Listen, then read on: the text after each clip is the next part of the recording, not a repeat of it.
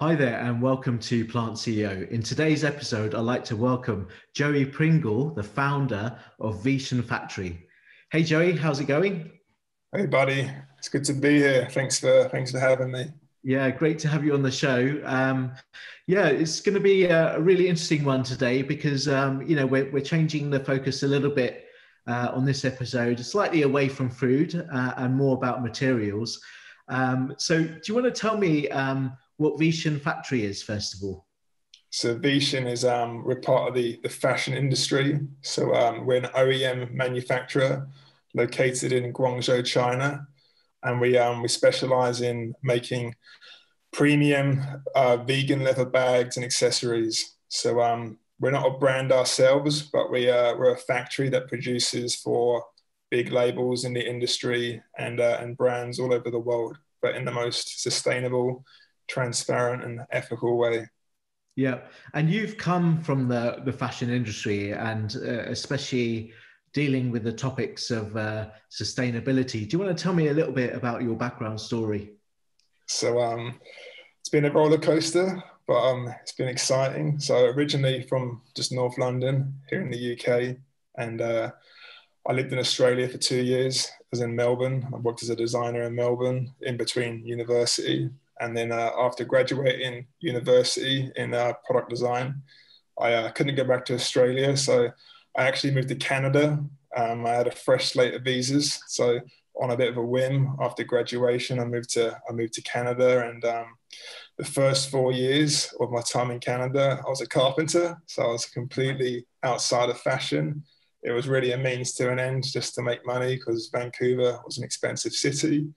And then after four years in Canada, um, I became a resident. And I said to myself, after becoming a resident, I wanted to get out of carpentry and kind of go back into, into design and product and fashion. And in Melbourne, I worked for a backpack company. So I wanted to kind of kind of find that passion again. And I joined an incredible outdoors company at the time, very big company called MEC. And um, they gave me a contract and kind of got myself back into, into fashion. And then uh, my contract came to an end, and I was very fortunate to slide straight into a small startup company called Tentree. Um, they're very big now, but um, they gave me the opportunity as an accessories designer for them. And uh, quickly, at my time at Tentree, I saw that there was huge potential to really kind of own something quite big and kind of take the take the lead on this accessories category. So my role at Tentree um, spread quickly from design to development to sourcing to, um, to social compliance and kind of I wore many hats at this company and I tackled basically the, entire category. And part of my job at Tentree was responsible for the factories in Vietnam and, and China. And I had about 10 to 12 factories that I was managing those relationships with.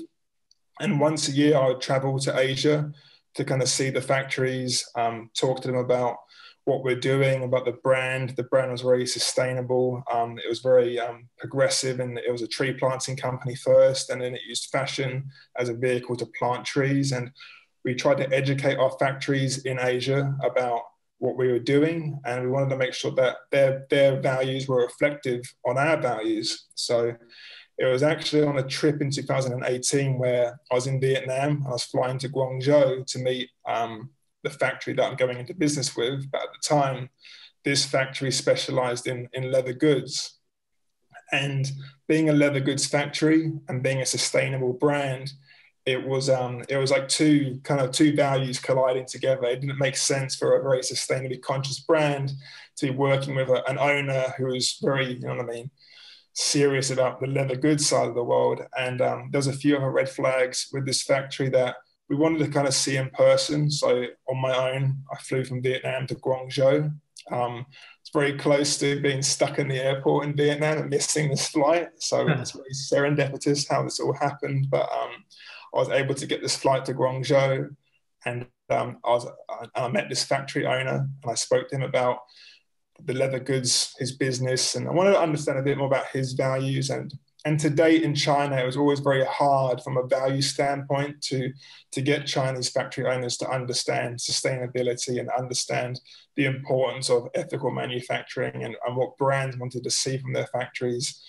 But I talked to him about um, the concerns we had, and the, um, he went on to explain that he's a converted Buddhist, and being a converted Buddhist, um, he was like, I want to get away from the leather goods world, and I, I want to start being more sustainable and and have a factory model that's reflective of a healthier planet. And I was like, wow, this is um this is incredible to to finally meet someone who's really taken the lead with his values and initiatives in China to kind of to restructure his factory. And he explained how he wants to start a green factory. And I was just like, wow, this is um this is amazing because obviously I was on this trip to go and speak to this factory to let them go. And um, I went completely full circle on myself. And I was like, wow, this is a, an impressive vision he has. And I said to him, I'd love to support you as a consultant and um, kind of help you out because I just loved what he stood for. And uh, we left it as that. I went back to Ch- I went back to Canada for a year, and um, I consulted him on the side. And uh, a year went by, and the company I was working for, Tentree, they offered me a promotion. But at the same time, it got to a point in my life where I was like, do I want to continue working for someone else, or do I want to do my own thing? And I've always wanted to kind of have my own business and do something big in my life that I can make the biggest impact as an individual. And this consulting um, factory position was kind of blossoming, and there was something definitely big to, happen here. So I said to myself, let's go back to China. Let's speak to this guy about what a full time consultant would look like. It's kind of weigh up these two options about full time consultant or taking this promotion at my company, and um, let's make a decision. So went back to China, end of 2019, um, proposed to this factory owner what a full-time consultant would look like. Um, basically the brands he would have to look to kind of um, working with, the materials he needed to transition into and um, put it all on paper. And he looked at my plan and he was like, I don't want you to be a consultant. I want you to be the owner of this factory. And I was like, that makes no sense because I never envisioned ownership like at, at at this stage of our of our relationship, and I never envisioned um, living in China full time because I don't speak the language, and this guy doesn't speak English. I mean, this is all through translators.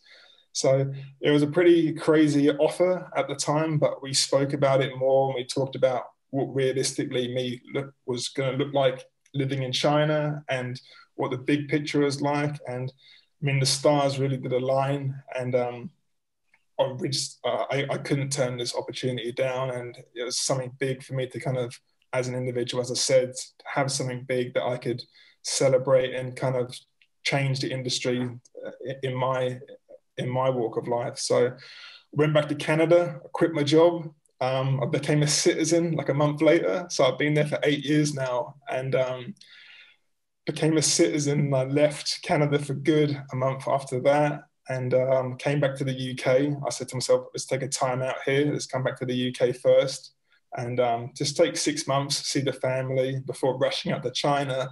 And then obviously, the virus hit. Um, the whole world, as we all know, went into lockdown. And I said to myself, I mean, this is a crazy time, and there's no better opportunity right now with kind of Mother Nature putting us all on hold to kind of reflect about our values and how us as businesses are are um, operating, and the fashion industry was kind of, as we all know, has been suffering quite significantly in the last couple of years, and it does need to change quite quickly. So I said, hey, let's let's launch this factory now. Let's get the storytelling going. Let's get the marketing going. Let's see if we can bring any new brands in. And what, we'll, what we'll do is we'll basically start this new factory out of this current factory. So in May, we launched the factory. Um, and then yeah, we just took it from there, and it just it's organically just snowballed out of control um, in a great way. It's been it's been a crazy year, but um, here we are now talking to you, and um, yeah, 2021 looks pretty big for us. So it's been a, it's been a roller coaster. It's an amazing story. I think you you know just I think your stars must have aligned with your with your business partner there to make this all happen, right? It was a yeah. right moment for for you to consider that approach and that career change, and uh, yeah, it's amazing to hear that. Yeah, I mean the universe works in, in crazy ways, and as I said, it doesn't speak English. I don't speak Chinese, but it's about um, there's a lot of magic happening. Yeah. story. Yeah. And, um, we're excited to see what we can do. So, uh, in terms of the fashion industry, um, uh, especially you were saying, you know, for, for COVID, it's they've been hit a lot, especially the high street retailers. Uh, there has been a lot of movement, obviously, for for online and e-commerce, and that's been skyrocketing, especially with fast fashion. So that's been growing well. Um, why do you think the fashion industry, especially from a historical point of view, like the, the traditional firms, have been a bit slower to remove um, uh, animal skin from the from their ranges? Yeah, I mean, I guess it's been slow because there hasn't been that demand and there hasn't been that momentum from the other side to push it. But now, as we can see with the vegan the vegan movement, um, that's really kind of created this move, this energy, and um, and it all started with food and our diets, and now it's kind of that vegan um, lifestyle is kind of is, is moving into how we how we buy products. And now we're seeing a lot of momentum happening with that side of things um, there's a lot of incredible innovations going on and to date there wasn't really the, uh, the reasoning to move away from leather because even though leather from an animal standpoint is, is a negative from a functionality standpoint and durability standpoint it's an incredible material but to be able to move across, to date, we've only had um, PUs and microfibers really as the as the options to kind of to go into a, a non-leather world. And for a lot of brands that specialize in, you know what I mean, animal leather products, they don't want to go from that functionality difference from, you know what I mean, a cowhide to PU because you're not getting the same characteristics. So now we're starting to see that innovation really take off in the last couple of years, and we can touch on that in a bit more soon. But that's the reason for why it's been slower. But I, I see um, huge potential in the industry changing. Um, there's, a, there's obviously a massive shift in consciousness across the planet right now. And the reason for me taking this leap to move to China to, to start this factory is that I'm a big believer that the industry is changing and I want to be there to support the brands who want to make that change because from what I've seen in the industry is that it's so hard to find a manufacturer that wants to go on that journey with you and um, kind of support you with making that change. I want to be there to support that leather movement transitioning into into the vegan leather movement. Yeah. And um, so, which which brands would you say have already embraced this change? Um, from a from a, a big like a big brand name standpoint, I don't, I can't name any particular like famous like kind of you know what I mean your, your top end luxury um, mm. brands that have made this change. But obviously, um, like Mushroom Leather is a great example of like companies like Adidas has obviously been always thinking about sustainability, and then um, Lululemon. These kind of companies, like especially Lululemon, traditionally hasn't been like pushing for innovation that hard. They have an, innovation team and they do some stuff, but they're not driven by material innovation. To to see these kind of companies get access to like a mushroom leather for the first couple of years, there's yeah. some of the bigger names that say, "Oh wow."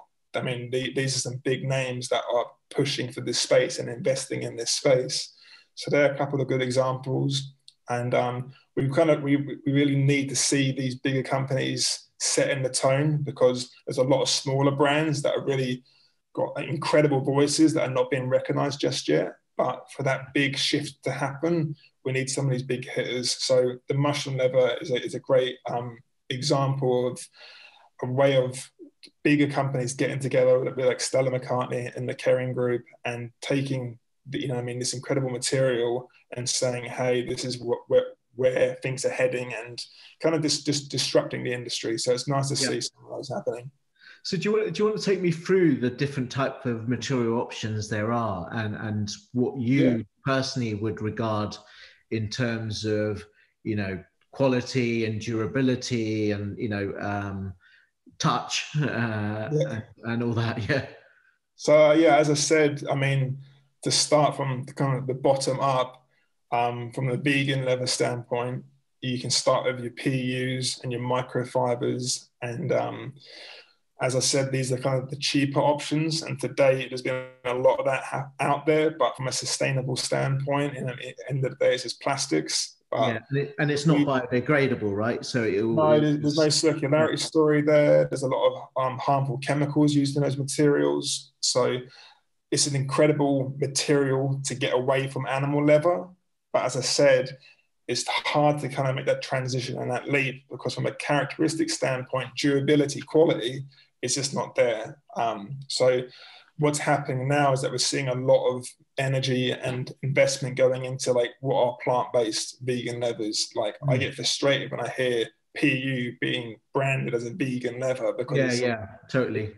It's yeah. it, it's not the right way to describe that material. Like I believe a vegan product should have coming from the earth. You know what I mean? Yeah, totally. I, I agree with you, and it's I, I, feel like it's an easy way out for some of these companies and it's a cheaper option for them to use obviously for sure and it's it's a huge marketing grab and i mean i am vegan so it, it, it is disappointing and it frustrates me so what we're seeing now is like companies like Piñatex um, they're an incredible option that you know i mean derived from pineapple the, the fibers okay. incredible material um, Piñatex for us we don't we don't use too much because the feel right now isn't like a luxury leather. It's more like a cardboard papery feel. Incredible material, but it's more so towards the fabric side of things rather than like a leather um, alternative. Right. Cost cost is very high. So again, to transition away from leather, you want to be able to match that cost and that quality. But Piñatex for us isn't doing the job. Um, what else is there? There's, there's, apple leathers. There's a lot of movement happening with, with that, which is like the byproduct of the skins from the, from the industry. And um, again, what they're doing there is they're mixing it with, with PU. So it is frustrating to see that the marketing being, oh, look, this is Apple leather. And then these companies aren't following up by saying, hey, we need to shout loud and proud. We're using apples. This is an incredible innovation, but it's not right just yet. Like, yeah. let's take the time and let's, and let's stay true to ourselves. Um, there's an incredible company in Denmark called Beyond Leather. Um, they haven't kind of gone commercially live just yet, but built an incredible relationship with them. And um, is that also using Apple and the, the, the blended approach? They're doing the blended approach, but they're trying to they're eliminating plastics from the rest of the composition. So they're looking into that kind of really circularity story where there's nothing harmful going into it. Okay. There's no plastics going into it. So they've stayed very patient in their innovations. Um, as I said, they're very transparent to me. I'm building some great relationships with them and I'm excited to see what what what they bring out this year. And um, on top of that, there's grape leathers. So again, similar kind of process. The grape leather, I haven't personally got my hands on it just yet. Um, a lot of these innovations are so small that they're very mindful about who kind of gets in, in touch with it first, and which is why like the mushroom leather um, Bolt Threads Mylo out of California they, have got they've gone down that marketing route of giving it to Lululemon, Adidas, Stella McCartney to kind of launch it in the correct way. Um, so it's hard to kind of get your hands on some of these things, um, which leads me on to saying cactus leather has been our focus for the first year. Um, as I said, we specialize in luxury leather goods. And for our clients and our operation with our machinery, we need to make sure that the, that vegan leather that we're using is able to go through our machines and we can execute it at the, the same level as as um, as real leather. So with cactus leather, from a cost standpoint, it's a good cost.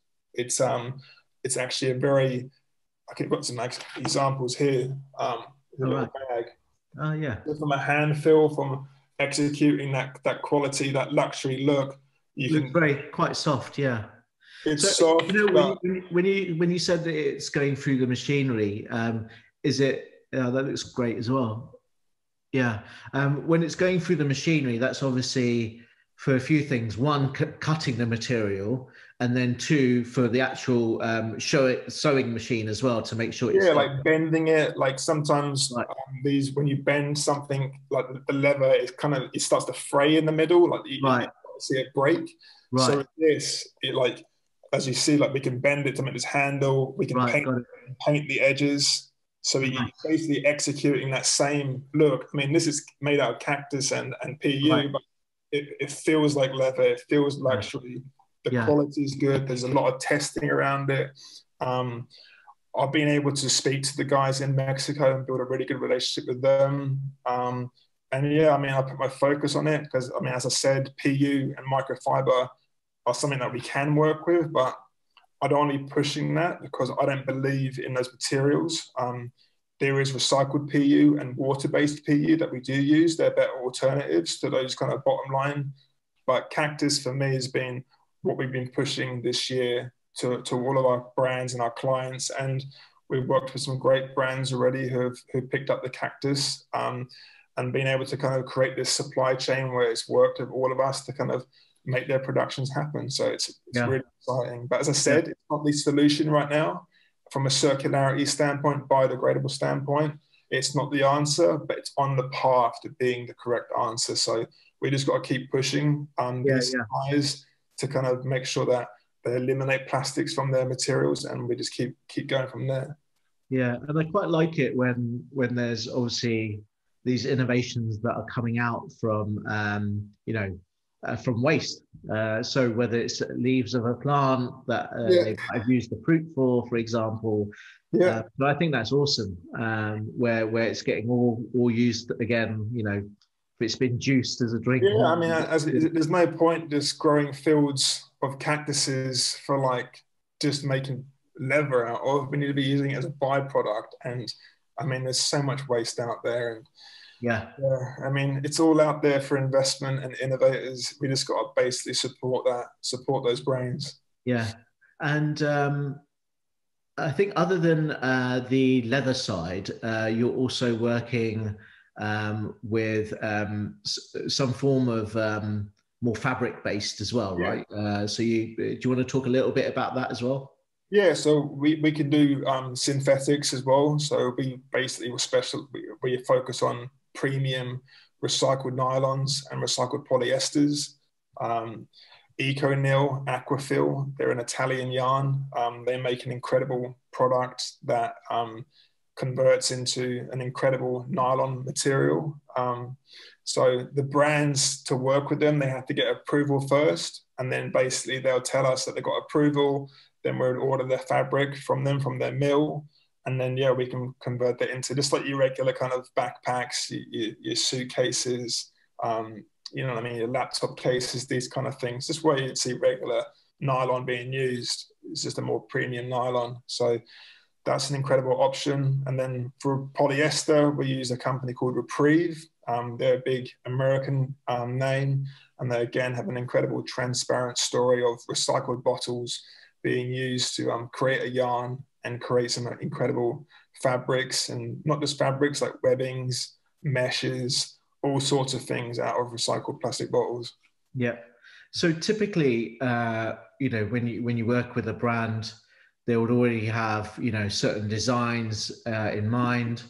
Um, would there be this process where you would also help them with um, the design, especially you coming from that from that background yourself, um, or is it like they, you know, you, you generally just here, here, here's the blueprint and just go ahead and make it. Yeah, I mean, tra- tra- traditionally for an OEM manufacturer, it's like give us the blueprint and we'll make it. But I mean, I am a designer. My business partner's a developer, and then our director, she studied at Marangoni Design School in Milan, fashion. So we do have a lot of design um, backgrounds, and from a manufacturing standpoint we want brands to work with us and lean on us for our for our design knowledge because when it comes to converting blueprint into into machine sometimes a designer's idea isn't i mean correct for, from a production standpoint and it needs to work for production. So to answer the question 80% is like we get the blueprint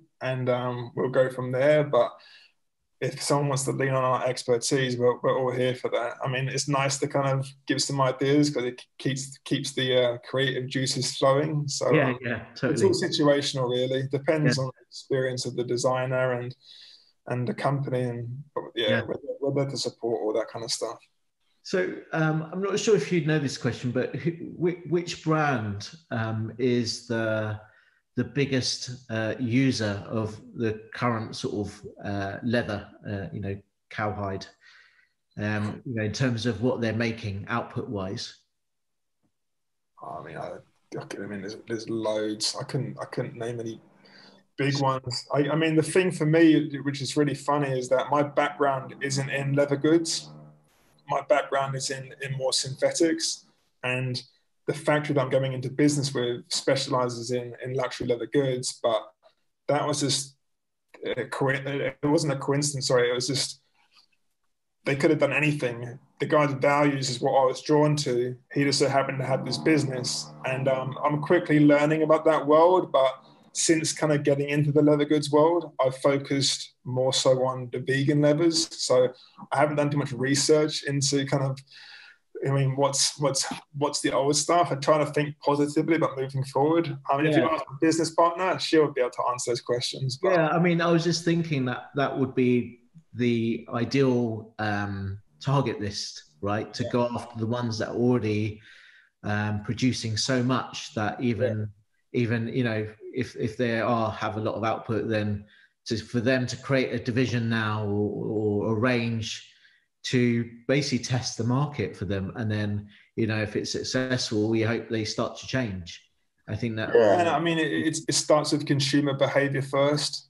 Um, right. once the consumer starts changing their attitudes a lot of these companies will start to um to keep up with the movement. I mean that's the thing that's unfortunate is that you want these brands to be changing for the right reasons not changing to stay alive financially. But i mean that's capitalism. And we just need to make sure that we need to, we need to make sure that capitalism remains conscious moving forward rather than just like oh we're going to do a vegan range just for the sake of doing it because you know what i mean that's not achieving anything yeah we need we need more conscious capitalists yeah for sure um, so when your uh, your, your your business partner um, uh, is uh, is a converted Buddhist, you said.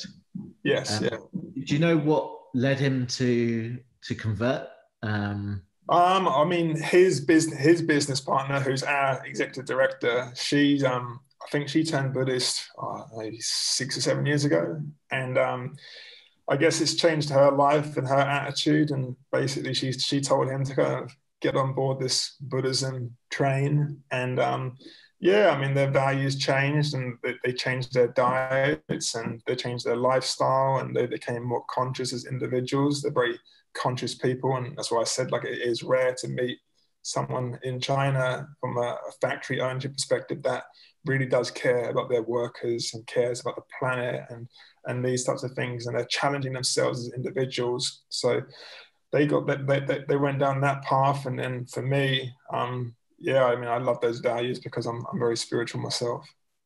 Yeah, and um, so you also uh, practice meditation, and what, what form of uh, meditation do you um, practice being quite spiritual? So I practice, it's called transcendental meditation. Right. Yeah, I don't know if you're familiar with it. I am, yeah. Nice, nice. Not that I do it myself. I, I meditate, but I haven't, I haven't, I haven't done that. But I know there's lots of you know, famous people. Obviously, the yeah. big one, is Sting, and less known is probably Jerry Seinfeld. But I know Oprah, the Beatles used to be in it. Yeah. yeah. No, there's some big Hugh Jackman, some big names doing it. Yeah, Hugh Jackman as well, right? Um, yeah. So yeah, do you want to tell me a little bit about that and what got what got you into uh, TM?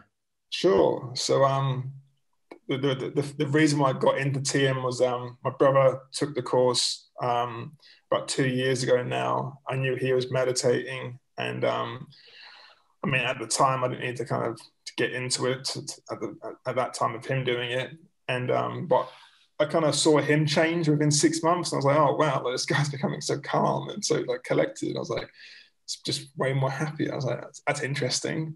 And then um, yeah, six months went across for him. And then for me, um, as I mentioned at the end of 2019, I got to that milestone in my life, that crossroads where I was offered this incredible promotion in Canada. I was about to become a citizen, and I had this huge decision to make about this, this factory decision and go back to China to make this decision. And I said to myself, I was getting to a point in my life where, um, I mean, yeah, we all experience stress, but I was probably experiencing too too too much that I should have, and I knew that if I was going to go down this this path of being chucking myself into the deep end, living in China, in a country that I don't speak the language in, um, I needed to be in a position mentally where I was going to be like in full control, just like you know what I mean, be able to control it, my emotions, control um, the entrepreneurial um, mindset of jumping up a cliff and what's going to come with that. Because as we all know, it's it's a tough road, and I needed to basically be in that in that best mindset and the best decision making possible. And I knew from what experience my brother had gone through at TM that it could be an incredible tool to access. You know what I mean? Being kind of living in that in that in that pure consciousness. So I took the course in November. Um, and then yeah i mean as i said before that i was very spiritual before. I've always believed in like the you know in the universe and and and how things work. And it's crazy you know i mean how my life has gone with it's been so serendipitous. But there's a reason for that. I think there's an energy out there. And then after finding meditation and having those kind of um, values before it all just kind of it all just made sense. And after more readings and practicing it and experiencing it firsthand what's happening to me in my body and my mind um, just a complete game changer really. And um, yeah i mean it, it, all just comes down to um, just being at that higher state of consciousness. And once we get access to our subconscious we basically find that pot of gold within ourselves. We find that inner peace and that happiness and then we basically bring all that incredible energy and momentum into our conscious state. And then once we're living in this higher state in our conscious state in our day-to-day lives what happens from that is that we radiate that positive energy and veganism um, sustainability um, all these types of things that you know we're, we're talking about climate change or like all these different aspects they all come under that form of consciousness. And I used to be a very kind of not a negative vegan activist, but I was that kind of guy who was like putting stuff on my Instagram about like we need to change and it kind of really like you know you're fighting something that is a, is a lost cause because it's not the route to go down to, to make that positive change. And i've quickly learned now through meditation is that once you're at that higher state of consciousness it's quite simple that if we, all we do is promote consciousness and get everyone to be at this higher state everyone's decision making will become better. And this is why it's very important for governments to start meditating because if governments can start meditating and get into that higher state, their decision making becomes better. Whereas right now, a lot of the decision making in governments comes out of fear. And we need to kind of get rid of that fear in our bodies, in our societies, and really kind of collaborate together on that higher wavelength. And um, when, when we get there. And the vegan vegan movement is, a, an incredible example of once we all get to that state of mind, um, what happens naturally from that is nothing but positivity. And I mean, outside of the, the vegan food, if you go into a vegan restaurant, you'll see that everything's thought out. They're conscious with the packaging that's being used. They're conscious with, you know, I mean, the, the way the building is has been built and the ownership and it just that radiates just so much positivity. So basically, it's just getting to that higher state. And once we're all there as a human race, we'll start taking down the divisions of like race and countries and you're from here and you're black and you're white and we'll start loving each other more and it will be a happier place so there we go it's a very very beautiful thing you just yeah. said there it's amazing so I mean, yeah, it means it's been an absolute game changer for me, and um, I want to implement that into the business. It is part of our values now, and um, I like to get the, the, factory meditating. I want to get my business partners learning transcendental TM, and yeah. um, what happens is once in a business, if you all start meditating together, you'll just radiate that that you know I mean those positive feelings around the company, and then if people were happier in their work, I mean, people were happier and res- better results happen. And I mean, it's, it's quite simple, really. Mm-hmm.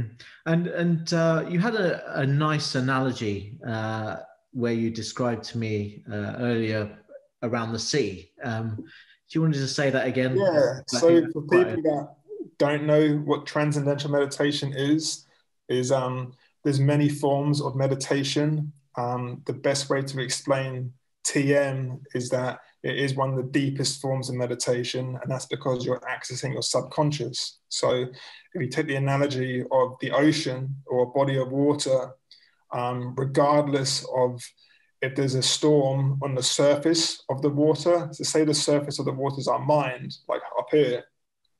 Some days we're angry, some days we're having a crap day, some days we're happy, sometimes we're calm. Imagine that's the same with the sea and the ocean. Some days it's choppy, some days it's smooth sailing, some days it's, you know, there's a few waves going on. Um, but at the bottom of the ocean is always stillness. You know what I mean? There's no thunderstorms at the bottom of the ocean. There's no choppiness at the bottom of the ocean. It's very calm. It's very still. So imagine your subconscious is like the ocean. So at the bottom of our subconscious, it's always still. It's always at peace. It's always tranquil. Whereas at the top, we need to calm down this this what's happening up here. So in regular meditation, all we're doing is calming the surface level. Whereas in TM, you're getting access to dive to the bottom of the ocean to find that place of calmness that's in, uh, is in within all of us. And then at that place is where all the good stuff is. That's where all the joy and happiness is and the positivity. And also, once you get to that subconscious state, um, you start to find that inner peace and you start to find that calmness and that enlightenment. And what you simply do is you just bring all that back up to the surface. Um, you've one, you've calmed the mind, and then two, you're bringing all that good energy back up. You're removing all the stress, all the anxieties. And in your day to day life, you just start living in that more kind of enlightened, conscious state. So um, it's a powerful, powerful tool. It is quite simple. Um, you have to learn it. You can't just go and read a book about it. Um, I took a course on it. And um, yeah, I mean, looking back, I wish I took the course way earlier in my life people say, why do you have to pay to meditate? But it's no different to paying to go to a gym or paying to play football or paying to eat healthy. Like the mind is and the brain is such a powerful tool that we need to put some investment into it. And it's a one off investment and um, it's an absolute game changer. And I mean, you see all these actors and actresses doing it, and there's a reason for that because, yeah, I mean, it just, it's, a, it's an incredible, incredible, powerful tool. Yeah. And the, the process is that you would to get into that that state, you would uh, say a mantra, and the mantra is basically uh, yeah based on the, the ancient Indian language, which is Sanskrit. That's correct. Yeah. And um, by the way, my, my uh, there are some schools that actually obviously uh, teach uh, Sanskrit, and actually my daughter is actually learning Sanskrit, so maybe I should speak to her about it. But um, and and the TM teacher would basically give you uh, a, a, word, a mantra to say in Sanskrit that you repeat. Is that what you do uh, in your That's when correct. you do your mantra? Yeah. yeah. So you, basically, you're t- you're already illu- illuminated now in this current state. is it too bright? yeah. Yeah. Um, yeah. I mean, it's a, yeah. You, you get that mantra on your course, and then it's something that you don't speak about ever. It's something that's just in your head. When you you close your eyes and you start to meditate, you just get to that mantra. Then that mantra basically is the tool for you to transcend into your subconscious. Whereas a lot of other meditations, I get you just stay on that surface level. I mean, they're great. It's always always incredible to, to calm the mind, but you want to get deep down within. And yeah, basically understanding your soul and understanding the soul is separate from the body. And um, yeah, I mean, this is the vehicle that the soul operates. That's right. That's right. Um, there, there is other ways, like you, you can basically do this other method, which is more vision based, where you mm-hmm. you try and get to a stage of innocence, yeah. uh, where you you know you're you're sort of um, you know like a baby in a way. So you're, you're very young uh, and. Uh, uh, and and in that way you don't you don't know anything about the world and and and and then you don't make any judgments when you're in that space. There, there there's another te- so i learned this technique before actually. Um, so maybe another time we could talk about it.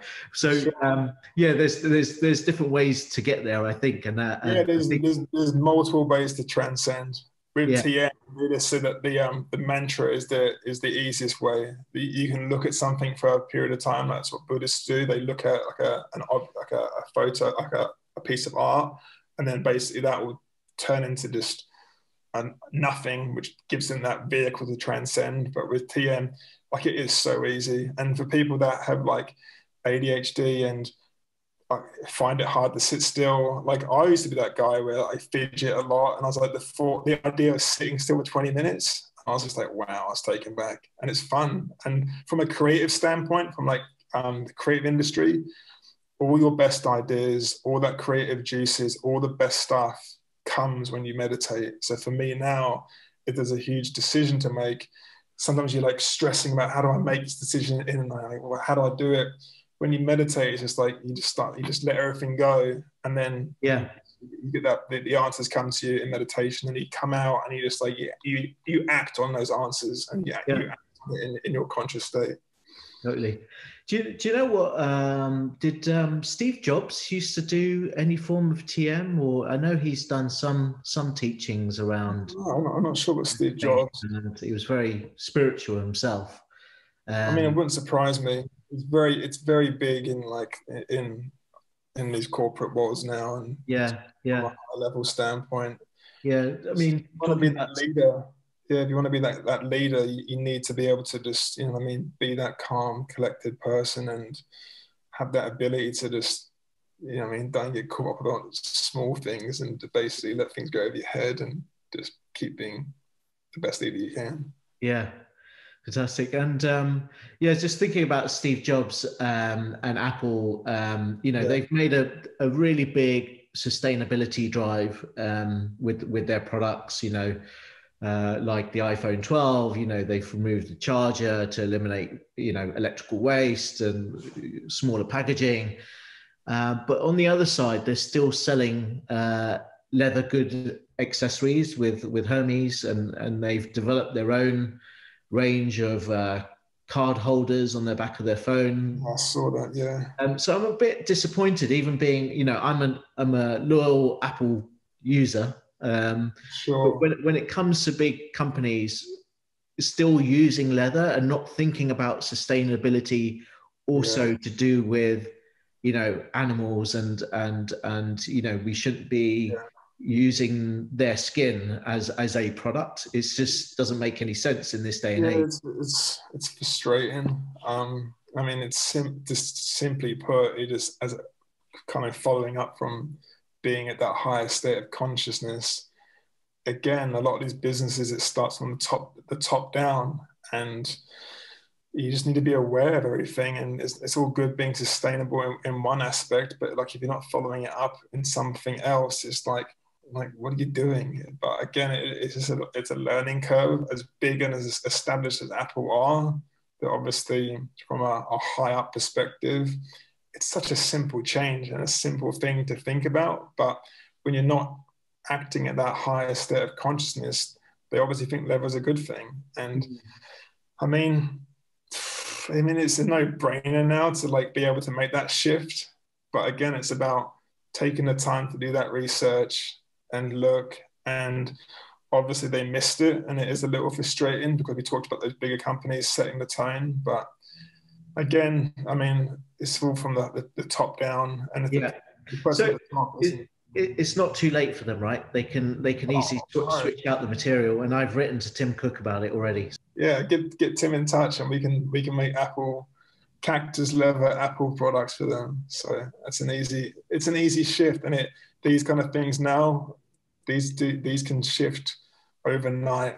Because before it was challenging, but now it's it is it is quite easy, and it is it is, it is a daunting space sourcing sustainably. Like I've been there as a designer, and it is hard and it is overwhelming, and not every aspect of your business is going to be sustainable. Like we are, are in a factory now in China, and there's lots of things that we need to improve on, but am I going to like quit now. No, like we're going to keep doing it, and there's going to be stepping stones. And I always say Rome wasn't built in a day, and it takes time. To, you know what I mean? But uh, providing you're you're operating in that higher state of consciousness, and you're being that leader, and you'll keep pushing yourself, like you're going to kind of you, are always going to get to that, that that state if you keep pushing your business to be more sustainable. So with Apple hopefully they can just keep pushing themselves. They've obviously done a, a really good thing with their batteries. And the next step is to make everything reflective of that. So it just takes time. Yeah. So, um, how's the the best? What's the best way that people can get in touch with you? You know, if there's uh, companies, brands watching this that uh, you know want to take the plunge and you know yeah. look at changing their, their their their existing ranges, or if they're startups, even you know, we know some startups together, don't we? So we know. Uh, Damoy and Jamie, and they've created uh, Hakua now with their brand. So uh, even if there's a small start, what's the best way to to get in touch with you?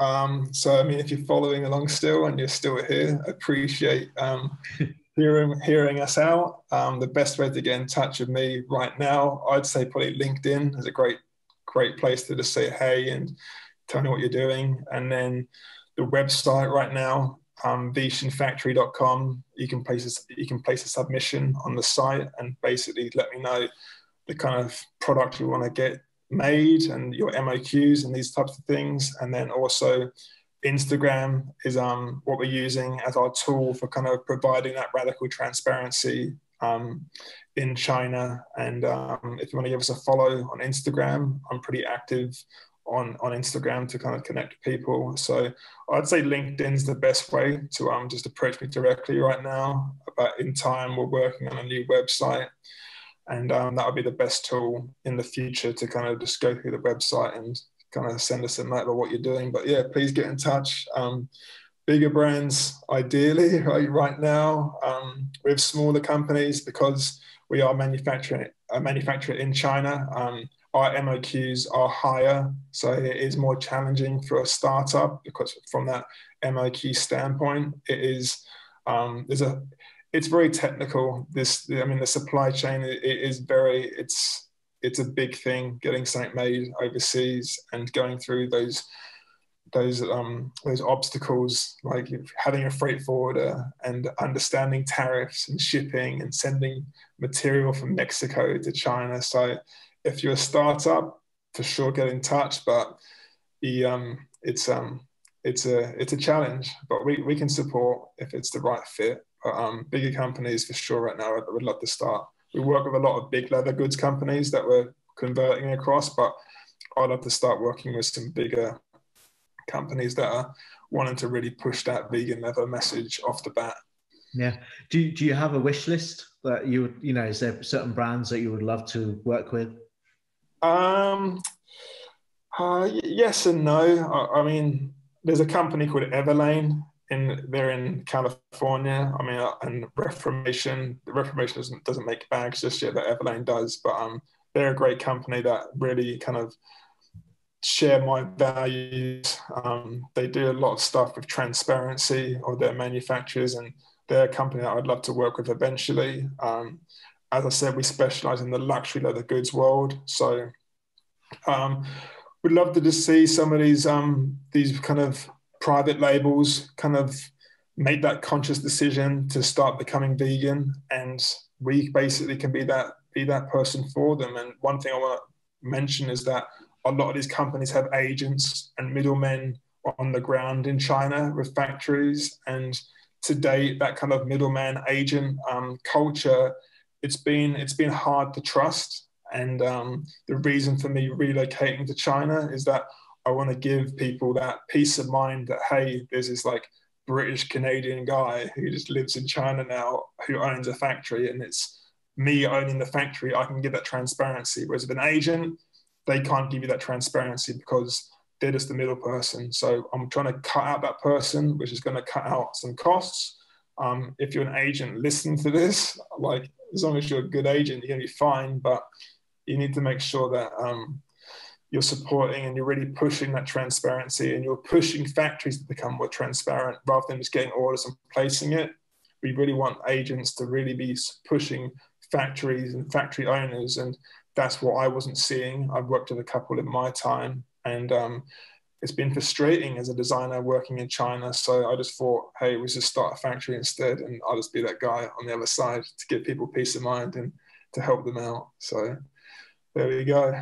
Great. So perfect. Um, I wish you the best of luck uh, with your journey now, uh, doing that. And uh, yeah, hopefully we'll get to see some some products, uh, you know, coming out from your factory a lot more. And yeah, I'll, I'll be posting and celebrating um, our clients. I want to try and remove the fear and the barriers of kind of the competitive nature of the industry. I understand people need to stay secretive to some point, and um, you know what I mean. You don't like burn too many bridges, but I want to celebrate the collaboration of the vegan brands and how. Nice.